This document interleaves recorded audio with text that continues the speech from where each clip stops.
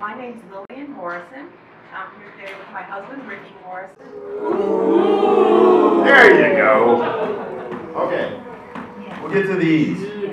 The Navy SEALs. Who knows what the Navy SEALs are? You know what the Navy SEALs are?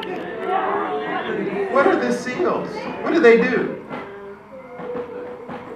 That's right. They're Marine tacticians. They fight underwater.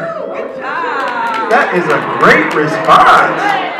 The, the love. I'm going to tell you from the moment that we came in the building, the love that's here is absolutely drawing, and it just does my heart good to see such an outflow, an outpouring of it. So we're just here because we just want to participate in all that love and goodness. So thank you.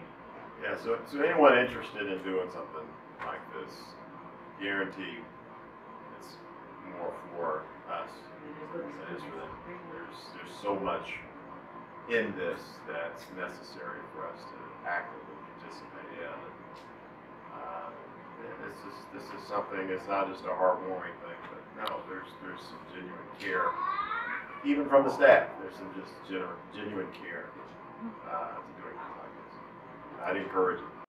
There are six branches in the military.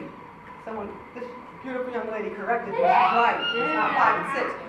What's your favorite branch in the military? Air Force. Air Force.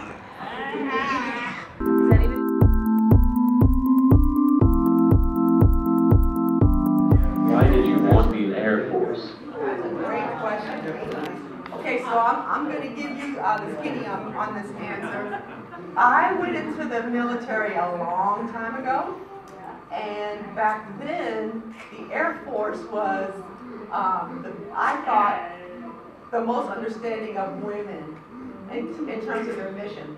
So my father was Army, I think Mr. Morrison mentioned that earlier, he was Army, his father was Army. I was surrounded by Army, uh, folks that served in our family.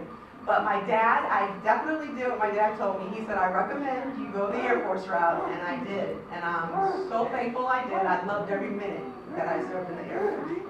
Air Force because my big brother was in the Air Force. Round of applause for John's brother! Do you have to know how to fly a plane to be in the Air Force?